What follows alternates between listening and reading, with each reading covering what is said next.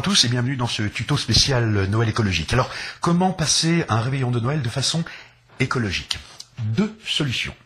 La première, n'inviter personne à bouffer. Mais alors rien, tout, personne. Non mais attends, et les gens ils ont rester chez eux quoi. Puis si c'est pour se retrouver avec la belle-mère hein, qui bouffe comme une truie là au bout de la table avec la tronche, allez, dégage. Chacun, ils vont, ils vont à flunch. Hein, ils, font, des soirées Noël. Hein, alors bon, vous serez tranquille. Deuxième conseil, ne, faites de cadeaux à personne. Non mais aucun.